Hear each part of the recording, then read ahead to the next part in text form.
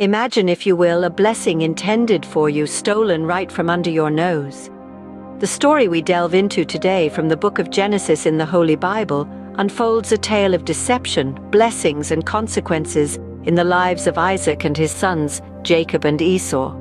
In the twilight of his life, with his eyesight failing, Isaac, son of Abraham, felt the call of mortality.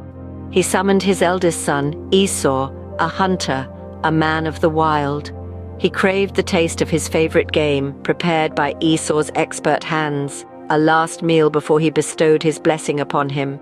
As fate would have it, Rebecca, Isaac's wife, overheard this private conversation. A plan hatched in her mind, favoring her younger son Jacob. She instructed Jacob to masquerade as Esau to deceive his father and secure the coveted blessing. With his mother's guidance, Jacob masterfully played his part, fooling his father by mimicking Esau's voice and even the feel of his hairy hands. Isaac, his senses dulled by age, was none the wiser. He blessed Jacob, believing him to be Esau.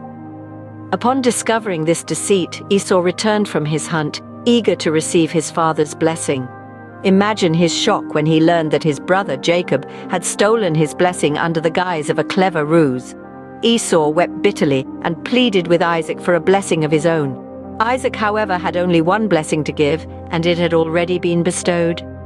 He prophesied, nonetheless, a future of hardships for Esau and reaffirmed the blessings for Jacob. A rift grew between the brothers, with Esau plotting revenge against Jacob for this grave betrayal. Rebekah, ever vigilant, caught wind of Esau's vengeful plans she sent Jacob away to her brother Laban, ensuring his safety from Esau's wrath. She also expressed her displeasure to Isaac about Esau's Hittite wives, further straining the family dynamics. In summary, this biblical tale from Genesis 27 paints a vivid picture of family dynamics, deception, and the profound impact of blessings. It's a story of a mother's favoritism, a son's cunning, a father's failing senses, and another son's loss. It explores the weight of blessings, the lengths one might go to secure them, and the consequences of such actions. It serves as a timeless reminder that every action has consequences, and even the most well-intended plans can lead to unforeseen outcomes.